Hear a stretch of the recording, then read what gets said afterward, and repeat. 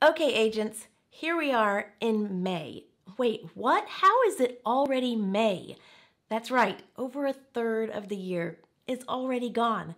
Now, I told you I would keep checking up with you throughout the year to see how you were doing on reaching your big goals. So, how are you doing? Already a third of the way towards reaching your goals for the year? Or do you have some catching up to do? With spring in full effect and summer right behind it, here we are in the busy seasons.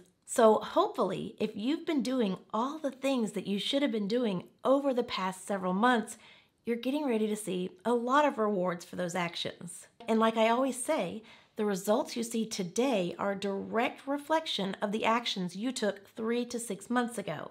So, everything you did to gear up towards 2023, and everything you've done to kick the new year off, and all those actions that you've taken over the last several months should really start to show you a lot of results right now and over the upcoming months.